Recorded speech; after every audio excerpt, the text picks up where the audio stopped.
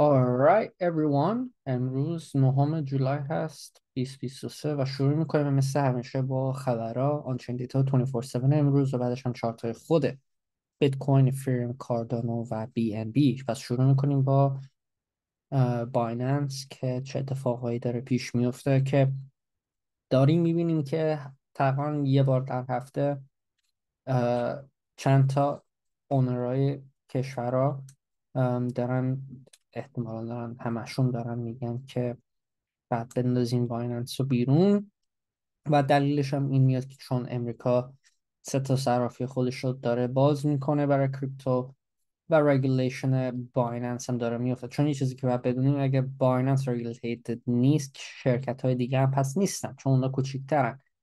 And regulatory pressures هم داره میاد چون بیشترهاشون هیچ از این اتفاقا نیفتن اما می‌تونن پیش بیان.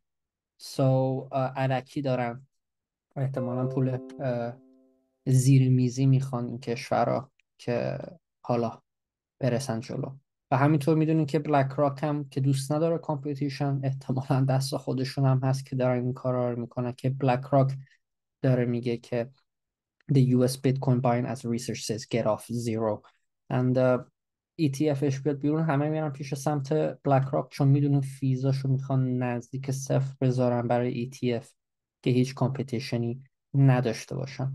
و همینطور که رئیسش هم اومد بیرون گفته باید همه بیت کوین ها رو باید بخریم. and uh, اونا دارن می‌بینن از که 750 هزار تا. حالا ببینید چی میشه. خبر بعدی میاد از نیم ساعت پیش که امروز رابرت اف کندی جونیور اعلام شده گفته که در ماه می ایشون 250 هزار تا تو ماه می الان جولاییم گذاشته بود تو بیت کوین. so خیلی قشنگه که این اتفاق داره کرده. خیلی پول داره و گفته بیشترم می‌ذاره و همینطور داره می‌دونیم که داره برای رایگیری رئیس جمهوری می‌خواد. اما نمیشه. اما it, it's still see خبر بعدی هم میاد از طرف بیت کوین هولدرز ویک که همه تاپ استوری این هفته میگه.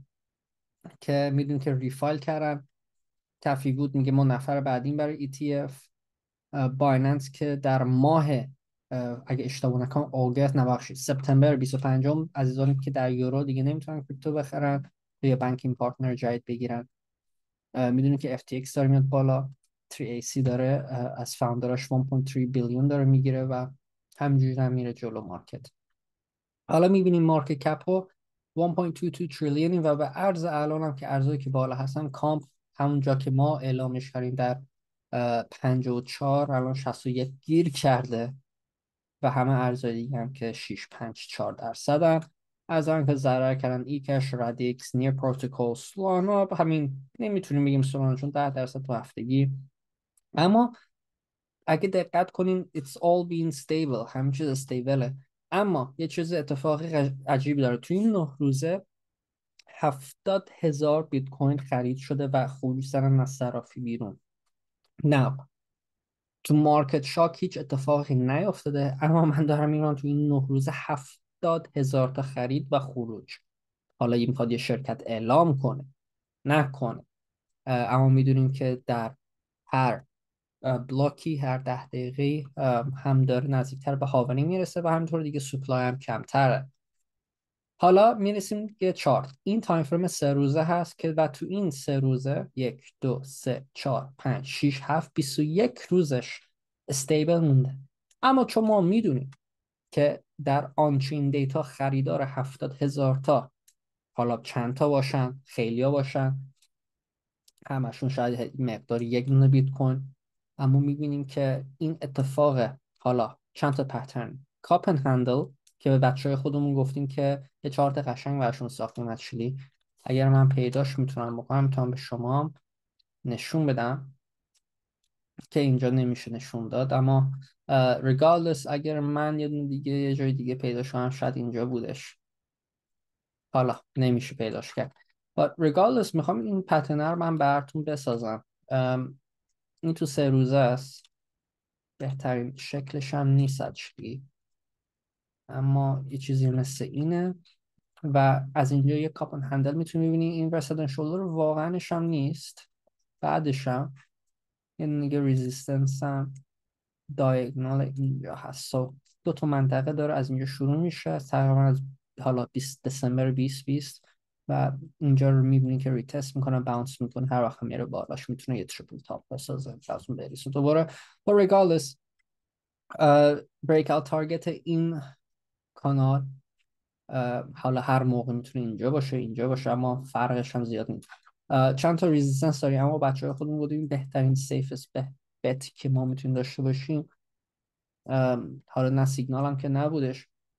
اینجا رو بشونه این سی و یک هزار حالا بگیم سی و دو هزار تا retest بده و از اون می‌تونه سی و شیشش رو ببینه.